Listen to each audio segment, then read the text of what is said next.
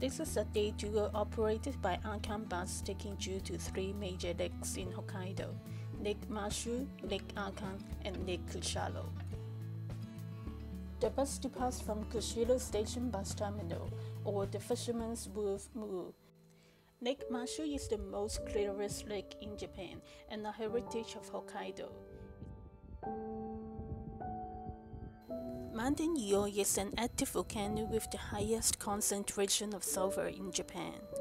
The yellow and sulfurous vents keep emerging and you can walk close to the steaming area. At Lake Kussharo, you can enjoy an unbeatable lake view and a foot spa at the shore. Believe it or not, the lake monster Kushi is said to be living in the lake. Let's see if you were lucky enough to catch a glimpse of Kushi.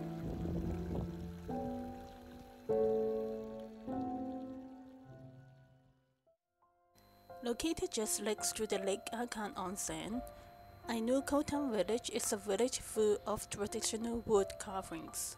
It is also a shopping area with plenty of souvenir shops where you can pick something for your friends and families. At Lake Akan, follow the walking trail to explore the nature and the wildlife animals. At the end of the walk, you will find an interesting scene of a pool of hot volcanic mud on the shore. The volcanic mud is as hot as 100 degrees Celsius.